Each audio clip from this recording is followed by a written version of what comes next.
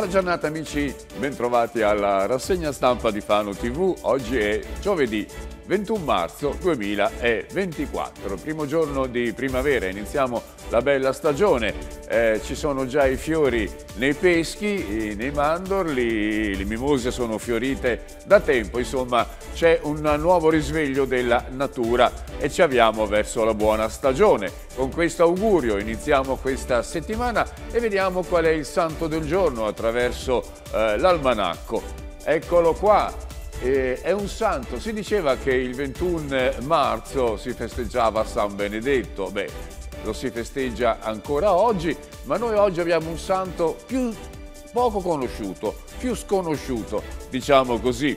Si tratta di San Serapione di Tumuis, che visse nel IV secolo. Tumuis è una località dell'Egitto. Ebbene, eh, Serapione visse in Egitto per molti anni e per molti anni li passò anche nel deserto. Poi fu nominato vescovo della sua città di Tumuis. Punto. Fu mandato in esilio dall'imperatore Costanzo II e fu un zelante difensore della fede e uomo di grande cultura, così lo ricorda ancora oggi la Chiesa nei suoi annali. Ed ora vediamo le previsioni del tempo.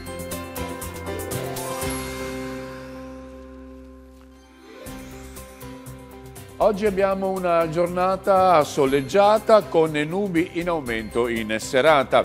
Le temperature massime fino a 21 gradi, la minima si è testata a 9 gradi durante la notte. Nell'entroterra venti deboli o moderati e da direzione di ovest-sud-ovest nelle coste invece da nord-est le temperature sono in calo, il sole è sorto alle 6.08 e tramonterà alle 18.20. Detto, fatto questo preambolo, vediamo i giornali, apriamo il Corriere Adriatico questa mattina e eh, vediamo un'importante delibera che è stata posta all'ordine del giorno del Consiglio Comunale di ieri sera, ovviamente si parla di Fano, è stato approvato il PAEC, ovvero il Piano d'Azione per l'Energia Sostenibile e il Clima.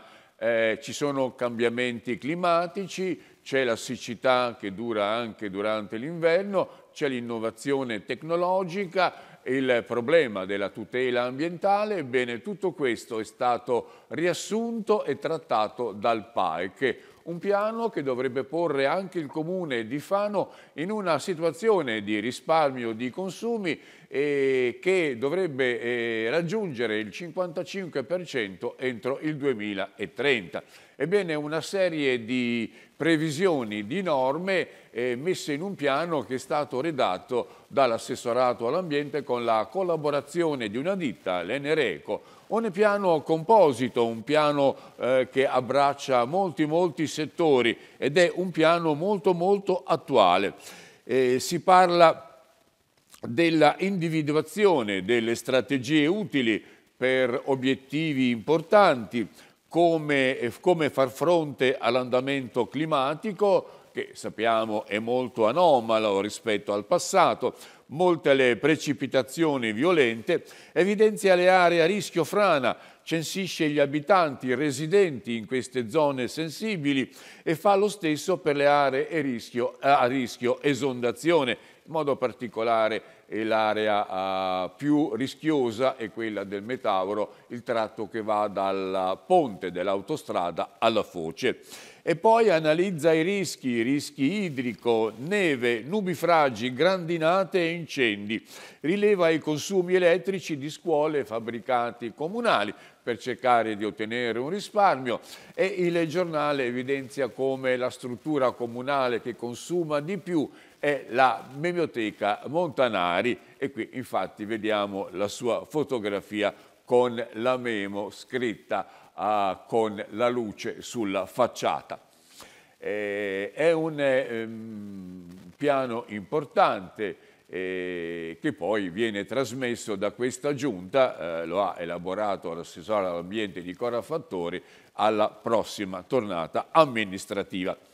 E sempre al problema ambientale si riferisce quest'altro articolo pubblicato a fondo pagina dal Corriere Adriatico per quanto riguarda una legge approvata dal Consiglio regionale, firmatario Luca Serfilippi.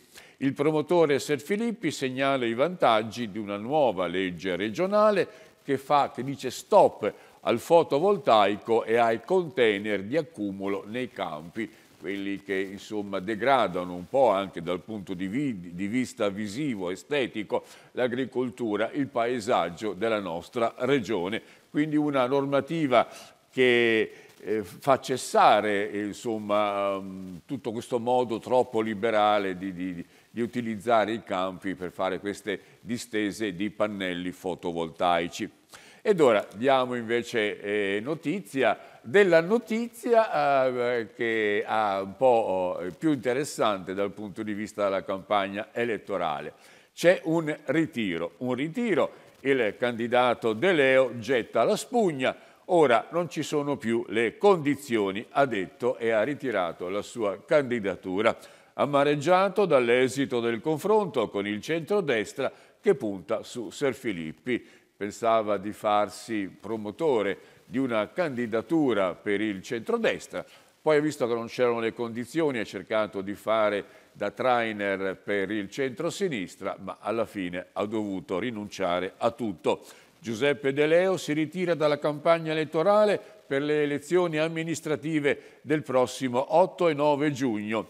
Mi faccio da parte, è scritto in una nota conclusiva è stata diffusa nella giornata di ieri, mi faccio da parte il passo indietro nasce dall'aver preso atto con realismo che non si sono create le condizioni per competere con le coalizioni. E, e De Leo, insomma, eh, si faceva promotore sia della destra che della sinistra per cercare di avere un candidato che non fosse immerso oh, nei partiti eh, e fosse un uomo libero, eh, ancorato al territorio. Questa era la sua la sua uh, uh, premessa. Ed ora anche un'altra bella notizia che insomma evidenzia come Fano ha mille sorprese, basta che si gratti un po' la sua superficie. Emergono due pavimenti, l'edificio di età romana, si approfondiscono gli scavi in piazza Andrea Costa, la piazza del mercato, in quel settore dove già nei giorni scorsi è venuto alla luce eh, un piccolo oh, cimitero, diciamo così, un'area sepolcrale di tipo medievale, ma soprattutto edifici di origine romana con pavimenti in opus spiccatum, ovvero che pavimenti a spina di pesce, che qui vediamo in questa fotografia. Ora andando più in profondità, All'inizio si pensava di grattare appena la superficie, ma dopo visto i ritrovamenti si è andati più a fondo. Ebbene, si sono trovati altri reperti importanti e anche questa volta gli archeologi hanno trovato un sito estremamente sensibile. Eh, dopo il trovamento dello scheletro della mamma con il bambino che stringeva al seno, eh, ed un edificio di età romana, altre cose interessanti sono venute alla luce. Eh, c'è anche una dichiarazione dell'assessore ai lavori pubblici Barbara Brunori, la quale dice che durante le operazioni di rifacimento della pavimentazione di piazza Andrea Costa eh, sono stati rinvenuti nelle ultime operazioni di scavo per i sottoservizi più ambienti appartenenti ad un edificio di età romana che presentano ancora parti cospicue di, di pavimentazione antica. E ora si tratta di capire a che cosa appartengono questi reperti, se è una domus privata, se è un edificio di carattere pubblico, siamo a due passi dal foro, almeno da quell'area che è considerata foro, perché ancora delle tracce probanti non sono state trovate, ma basterebbe scavare, non so, magari anche nella piazza a, davanti al Politeama per trovare senz'altro qualcosa di molto, molto interessante. Vediamo le altre notizie, vediamo a Pergola, il sogno di Rebel House, questa uh, associazione che movimenta la cultura dell'entroterra il centro a Pergola, a priori siamo contro l'apatia di chi non vuole cambiare. Insomma, sono molte le iniziative fondate e realizzate da Mattia Priori con Serena Pierfranceschi, fondatori, di, di Rebel House, questa associazione a Pergola. E poi c'è un focus sul Conte Perticali, polemico Vitali. Ebbene, questo siamo a San Costanzo. A San Costanzo c'è un uh, grande eh, fervore di iniziativa perché anche San Costanzo fa parte eh, di quella settimana della cultura ancorata con Pesaro. Ci sono molte, molte iniziative, eh, la cultura prima di tutto. Ebbene, e poi c'è anche la gastronomia. Eh. Ebbene, con la degustazione letteraria della biblioteca Don Antonio Betti hanno preso ufficialmente il via lunedì scorso, lunedì sera, gli eventi per San Costanzo, capitale della cultura. Il sindaco Sorcinelli, per l'occasione, nelle vesti di sommelier, eh, beh, anche questo è un bel, eh, una bella raffigurazione eh, del primo cittadino, ha introdotto i presenti ai gusti e ai sapori dei vitigni pregiati delle cantine locali. Eh, beh, anche il sindaco eh, si fa promotore della enogastronomia, che è una componente importante dell'economia, non è una cosa superficiale, è una cosa eh, da, da coloro che godono della buona tavola. In realtà è un dato importante perché fa lavorare le aziende, eh, produce reddito e quindi attira anche persone da altre località e fa un po' lavorare tutti. Vediamo anche la pagina di Senigallia, dove si parla ancora, ed è la terza volta che appare sui giornali, quell'annuncio sessista di un barista che voleva assumere eh, delle donne eh, che non avessero un'età superiore ai 38 anni. Ebbene, questo non si può fare perché la legge dice che non puoi scegliere uomo o donna, ma devi dire che si assumono dipendenti e poi anche l'età sembra che sia un, eh, una limitazione eh, proibita. L'annuncio sessista, caso isolato, rivolgersi a persone qualificate. Eh, c'è un intervento di Petrini della Confartigianato di Senigallia che dice che occorre un tavolo per monitorare tutti gli aspetti del mondo del lavoro. È un stato un membro della famiglia, un ragazzo, forse uno dei più giovani di questa famiglia che gestisce il bar di Tre Castelli, eh, a fare l'annuncio, in realtà lui probabilmente non sapeva nemmeno della legge, Ora si tratta di non ingigantire questa cosa perché poi eh, non è che è stata fatta con la volontà di punire questo o quell'altro sesso, insomma, si è cercato di uniformare le esigenze della ditta con quello che offriva il mercato. Jonathan, scivolata fatale dal tetto, figlio mio vorrei riabbracciarti, è l'appello straziato della mamma di questo ragazzo di 15 anni che salendo nel tetto di un'abitazione voleva fotografare il cielo, aveva 15 anni, è caduto uh, di sotto ed è deceduto purtroppo. È accaduto questo a Grotta Azzolina, il dolore della mamma, il, il quindicenne voleva fotografare il cielo, lutto cittadino, oggi l'addio a, a questo ragazzo ed è il cordoglio, il cordoglio di tutti gli amici, fiori sul banco, lo shock al liceo scientifico. Purtroppo una morte improvvisa, una morte atroce, non si può morire a 15 anni. Veniamo ora alla pagina di Pesaro che è, è, dedica il Corriere Adriatico, si tratta della raccolta dei rifiuti e c'è veramente una uh, un giro di vite nei confronti dei furbetti, dei furbetti che non pagano la Tari. E già tutta poi l'installazione dei cassonetti intelligenti ha permesso anche agli ispettori di individuare coloro che non pagano, gli evasori che, eh, della Tari. In centro gli ispettori ambientali scovano 167 utenti che non pagano la tassa. Ebbene, dopo quasi due mesi dall'avvio delle isole informatizzate, sono oltre 85.000 gli accessi ai 23 cassonetti nel perimetro della ZTL, circa 1.700 conferimenti al giorno. Le ecoisole più utilizzate sono quelle di via Barignani, via Ventura, con oltre 7.000 accessi, seguite da Piazza del Monte, via Varese, con oltre 5.000, dati alla mano, ha illustrato il rettore della funzione ambientale Franco Marcor, i maggiori conferimenti riguardano il differenziato per il 30%. Insomma, ci sono anche i furbetti delle eco-isole, sono stati 167 che non versano la tassa dei rifiuti intercettati e già segnalati all'ASPES e sono stati tutti trovati.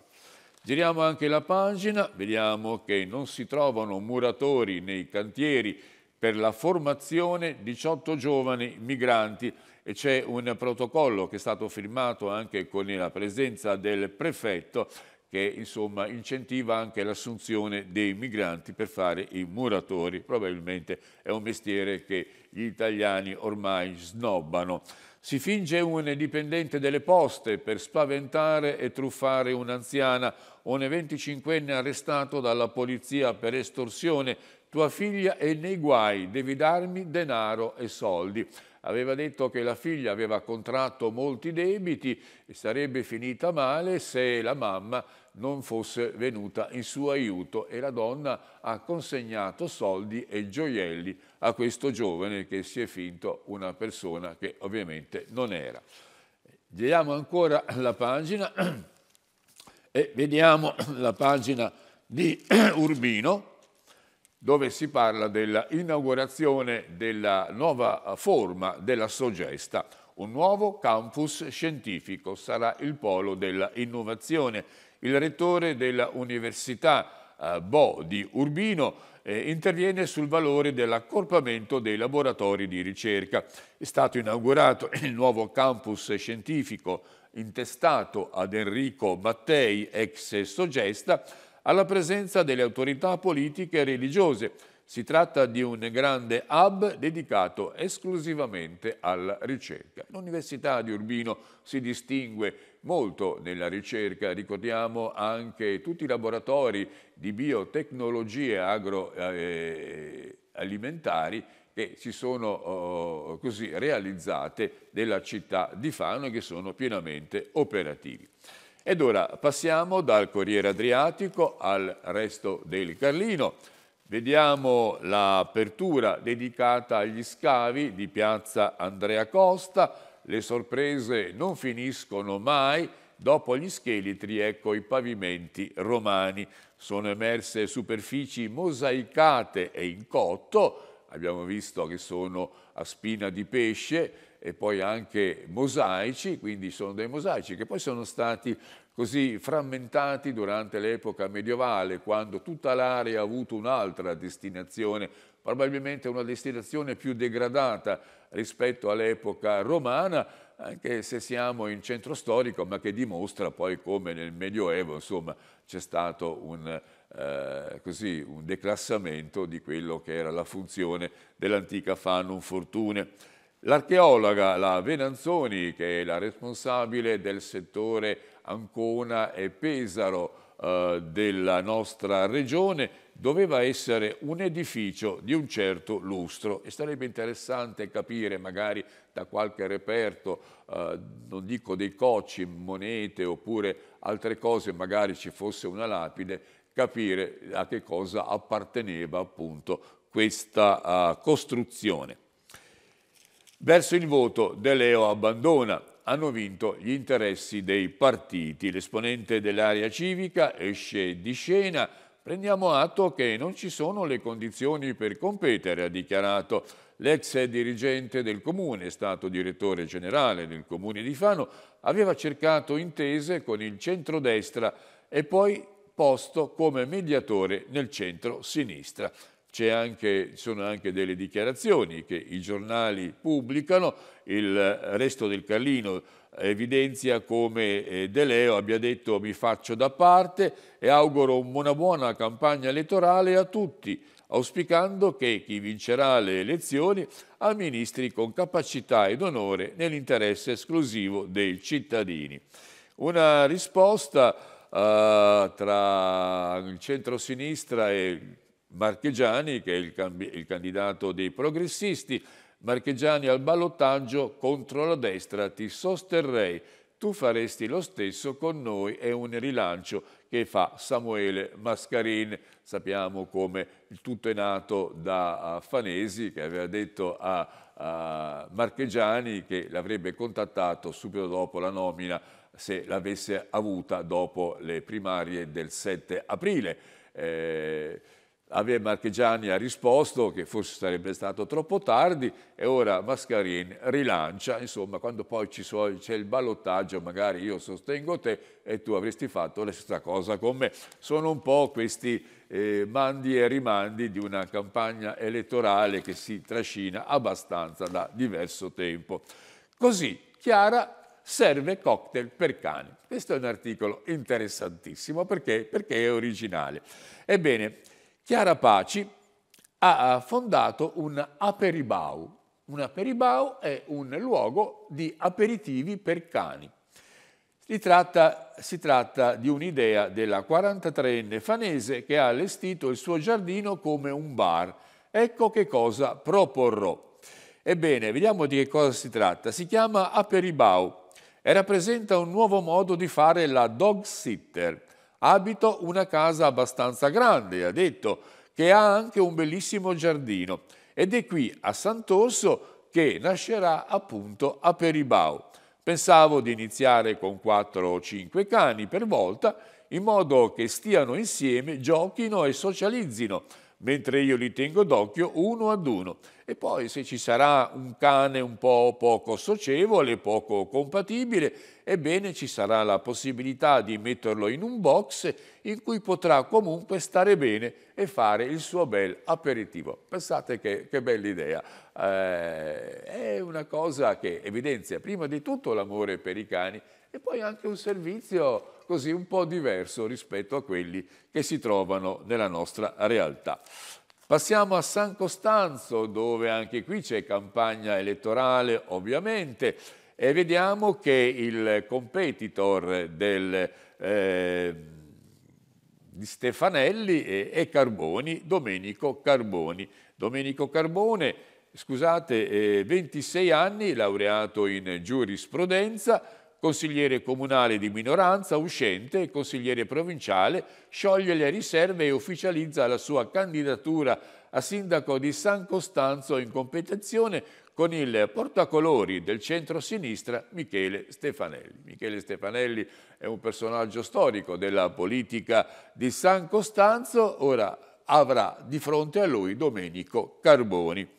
Pane nell'indifferenziato, nessun accanimento, Così Aset replica alla cittadina che aveva ricevuto una multa di 150 euro perché gli ispettori avevano trovato del pane abbrustolito nell'indifferenziato, doveva essere messo nell'umido, gli ispettori hanno fatto il loro dovere, così dice l'Aset. Beh, comunque sembra un pochino che eh, punire una donna con 100 euro per delle briciole di toast bruciato in un sacchetto per il minestrone finito nell'indifferenziato è un po', non so, forse un po' troppo severa, oppure è così dice la legge. Anche il resto del Carlino oh, pubblica l'articolo della inaugurazione del nuovo laboratorio per la ricerca Sogesta, laboratorio universitario, siamo nella pagina di Urbino. La Sogesta diventa il campus dell'ingegno, aperti prima 5, i primi 5.000 metri quadrati di laboratori ne rimangono da finire altri 7.000 per un investimento complessivo di 20 milioni di euro. L'Università Carlo Bo sa rinnovarsi e sa camminare al passo con i tempi. E poi per quanto riguarda Urbino si parla dell'ospedale, si parla in modo particolare di ortopedia che si potenzia, nuove attrezzature per gli interventi. Dal prossimo mese si aprirà un ambulatorio specifico anche nel Montefeltro a Macerata Feltria per la direttrice dell'azienda sanitaria territoriale Nadia Storti ci sarà molta più attenzione alla traumatologia sportiva eh, che spesso eh, eh, ha a che fare con molti incidenti che si verificano durante le partite. E poi vediamo in quest'altra pagina, parliamo di Pasqua, oltre 400 figuranti per la processione a Cagli. Cagli ha un'antica tradizione per i giorni pasquali con la processione delle confraternite, un bellissimo spettacolo dal punto di vista coreografico ma anche dal punto di vista della fede. E con eh, questa notizia terminiamo la nostra rassegna stampa, io vi do appuntamento come sempre a domani alle 7 e per le notizie del giorno alle 20.30 di questa sera con il TG Occhio alla Notizia di Fano TV. Grazie per l'ascolto e a risentirci.